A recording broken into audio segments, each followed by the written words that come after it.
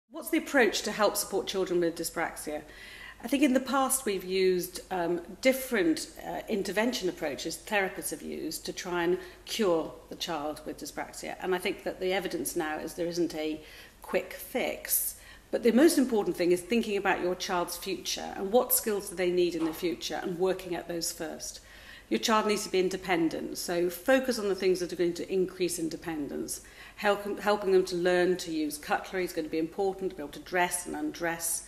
Those are going to be really important for everyday life.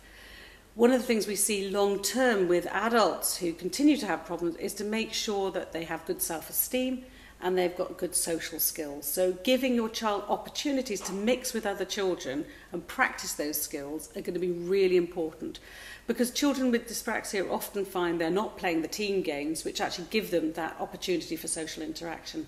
So find sports and activities that your child can participate in. That's really important for good coordination, social opportunity and confidence and that's going to be important for the future and find them hobbies and activities they can be successful in, like cooking, like photography, maybe doing things like swimming.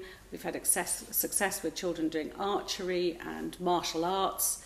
These are things that are normalizing activities rather than doing loads of therapy, which may actually just concentrate on that child, making them feel more like they've got problems.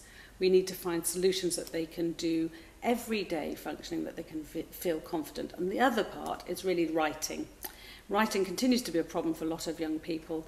And if it is a problem when they get to 10, 11, 12, really seriously think about twin tracking and getting them competent on a computer and a keyboard because that's the way they're going to be able to be educationally able to access and be competent in the curriculum. So using computers is a fantastic uh, advantage in the world that your children are in now make sure that they are keyboard competent. Not finger perfect, but know how to use a keyboard and uh, be able to use a computer.